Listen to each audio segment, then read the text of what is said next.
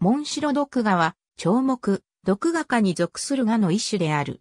日本全国、朝鮮半島、シベリア、ヨーロッパに分布。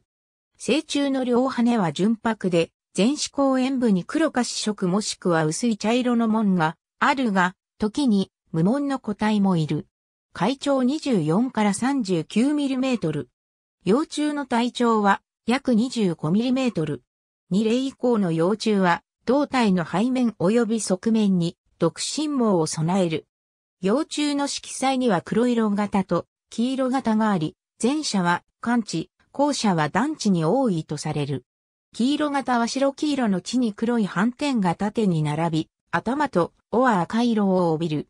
黒色型は、既読ガやリンゴ検問の幼虫に似ている。年に2から3回発生する。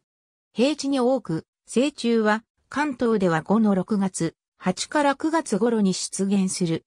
幼虫で越冬する。越冬した幼虫は5月下旬頃溶化する。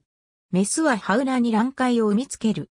弱霊幼虫は群衆するが老熟すると分散する。眉は楕円型で褐色の糸に体毛を混ぜる。眉、成虫、卵、一霊幼虫ともに、修霊幼虫の独身毛を継承するため、一生を通じ独身網を持つことになる。